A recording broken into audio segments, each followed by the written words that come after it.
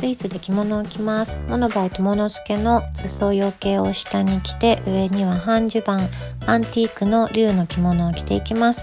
玉尾さんが通りました。腰紐をして、オーリンベルト、着物は右手が下で左手が上です。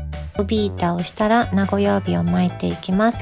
画像商店のおもちゃ柄の名古屋帯です。靴はジェフェリー・キャンベルの厚底で靴下は半襟の蝶々に合わせてブルーです。後ろに毛がついています。この日も銀座結び旅行中は枕がない銀座結びがおすすめです。帯締めもブルーで。ポイントは赤と青です。帯締めをしたら手先をしまって出来上がりです。